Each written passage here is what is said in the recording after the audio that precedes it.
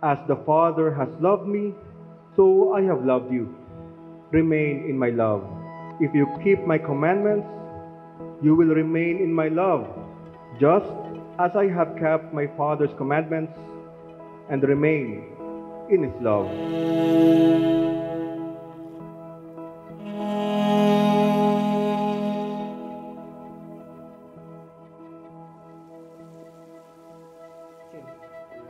Ah, talikan niyo na. Lablab. Lablab mo sa daddy. Hindi na dulag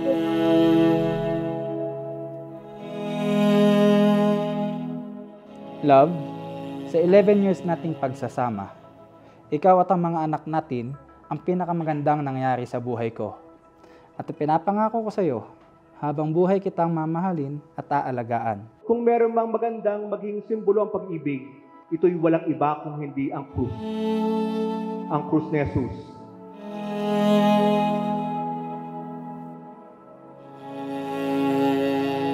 Tatanda man tayo, balat at buhok ko lang ang magbabago. Hindi ang pagmamahal ko sa iyo. Wala na akong ibang nanaisin pa, kundi ang makasama ka habang buhay. I love you. Chimo daddy.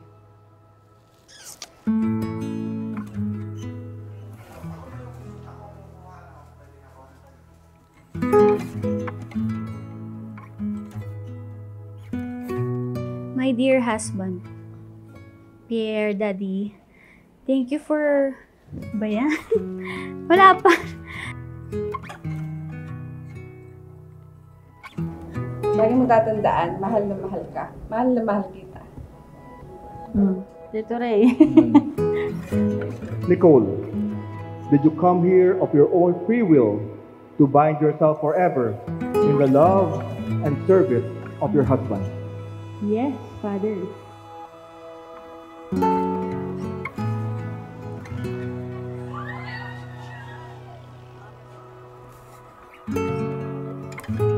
Ng Diyos at ang kanyang sambayanan na pinagtitibay ninyo ang inyong pagmamahalan, ipinapaalala sa inyo na krus na dapat ang gagamitin ninyo na simbolo ng inyong pagmamahal. You are my best friend, the father of our children, and you are my hidden strength. Thank you for loving me unconditionally. Remember the LRT. Love, respect, and trust. I love you for the rest of my life.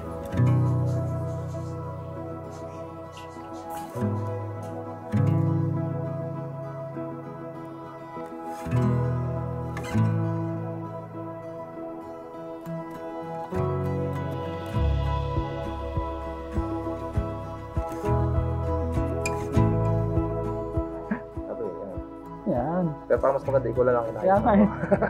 Puti ka, perte na nga eh.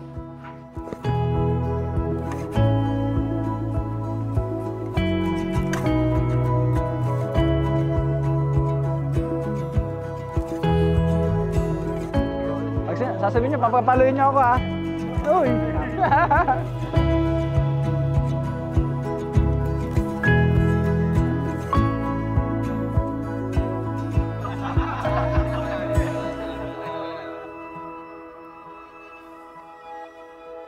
Hindi ko ma-imagine kasi 11 years kami bago na ikasal. Tatlo na, magiging tatlo na anak namin. Yun nga, love, respect, and trust. Kailangan mong kumabit sa pagmamahal niya. Kailangan mong i-respeto ang isa't isa. Yung pa yung pinapayak niyo ko Yun. Tsaka tiwala. Dapat yun ang hindi masira. Pierre, did you come here of your own free will to bind yourself forever in the love and service of your wife? Yes, Father.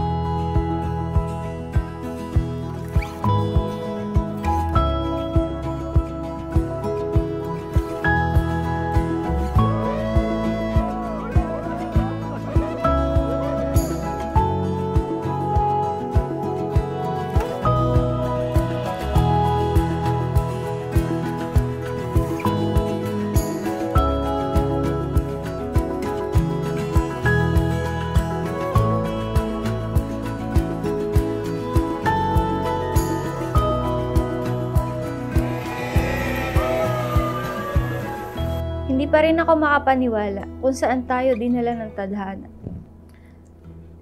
Mula sa aksidenteng pagsimba hanggang sa ilalim ng dambana.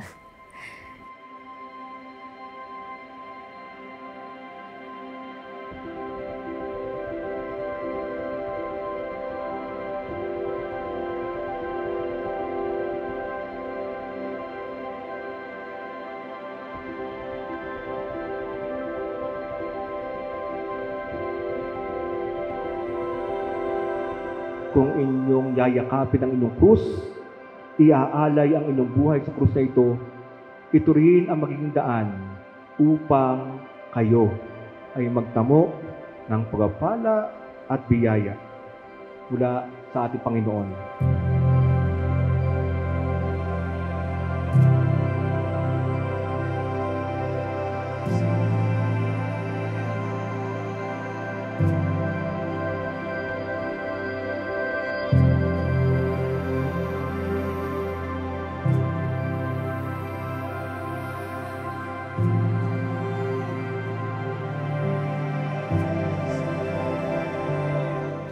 Kasi, lumaki ako ng wala akong tatay. Mag-isa lang ako, hindi wala akong kapatid. Bata pa lang ako, sabi ko, sana magkaroon ako ng buong pamilya. Hindi ko katulad na lumaking walang ama. Kung, yun yung pinagpapasalamat ko sa Diyos ngayon. Dahil binigay niya yung, napunan niya yung mga kulang sa akin dati. Tunay na ang pag-aasawa ay paglagay sa tahimik. Bakit? Sapagkat ang puso ng lalaki at ng babae na pumapasok sa tipan ng kasal ay tumatahimik na.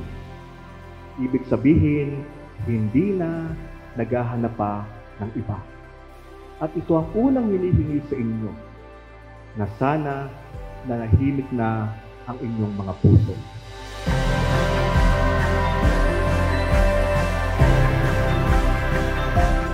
Halo-halong emosyon ang aking nadarama. Ngunit nangingibabaw sa aking puso ang ligaya at saya. Ngayon, tayo ay pinag-isa na. Sa iyong pagmamahal ako ay kakapit. Pangako sa isa't isa ay sinambit. Ah, saksi ang ating Ama sa Langit. Mahal na mahal kita, Pierre Anthony Marabillao.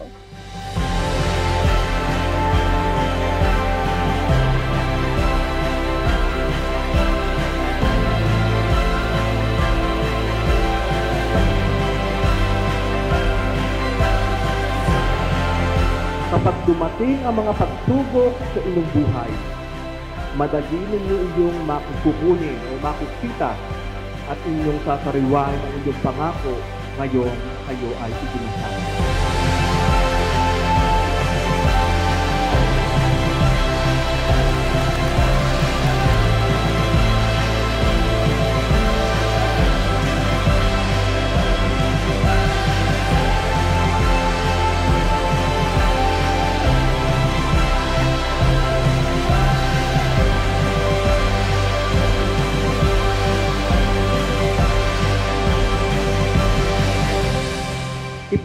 Ipinakikita sa atin ang pag-aalay ni Jesus ng krus ang kanyang pagbibigay ng buong sarili dahil sa kanyang pag-ibig sa atin. At ito ang paalala sa inyo. Commitment na nawa na ibigay na ninyo ang inyong sarili sa isa't isa